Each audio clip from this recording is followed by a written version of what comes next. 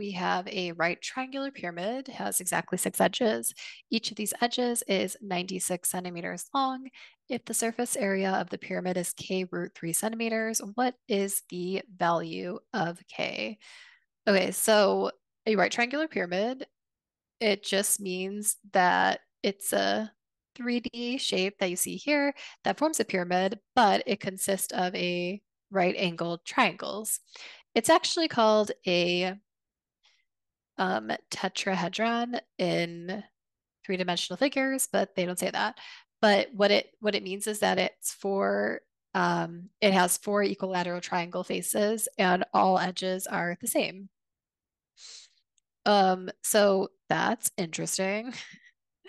so this each of these then it's like this is 96 this is 96 this is 96 96 96 and 96 so even if it doesn't appear that way they are all equilateral triangles okay so the surface area then of a regular right triangular prism would be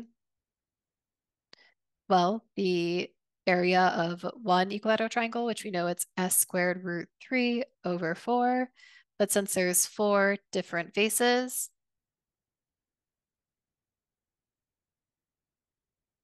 and if you can't see the faces because of my drawing, it's like here's one, here's another one, here's the second, and then we have the big one overall here. So there's four equilateral triangles.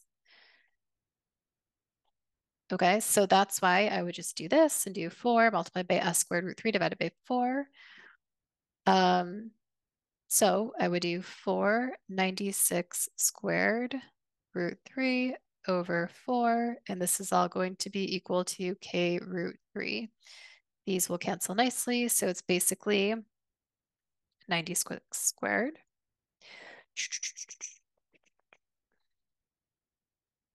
which is 9216 root 3 is equal to k root 3, and therefore 9216 is equal to k.